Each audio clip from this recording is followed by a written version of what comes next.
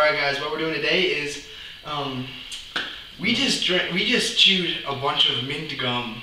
And we all know when you chew mint gum and you drink water, it burns. Now we're gonna see who can drink more water. We have five sort of small cups and we hope it's enough water. I'm pretty sure it's going to be. I don't even know if I'll be able to eat, or I mean drink one and a half.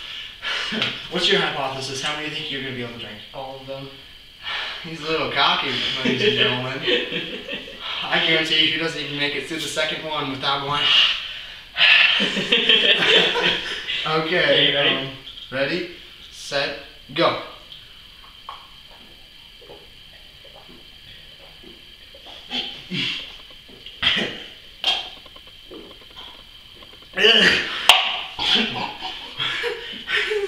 That's the second one. You're dripping the crap out of it. I'm too full.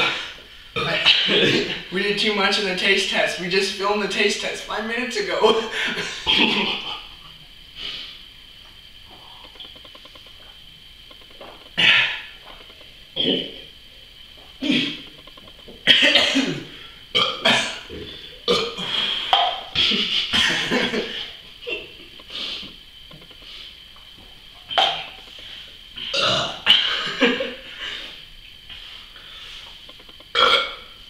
Puked. Oh my god.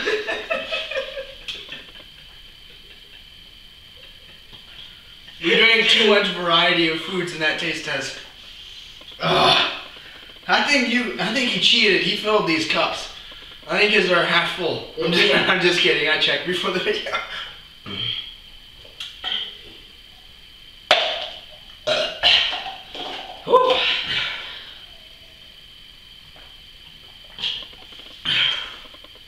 He won. I think I would have been able to finish him after a while, but we have a victor. I don't even think for me it was that much about I couldn't do it because of the burning. It was more because I was filled up and I had to puke. I'm gonna throw up, dude. and the challenge was like we filled a jug and I have to drink the rest of it because I lost.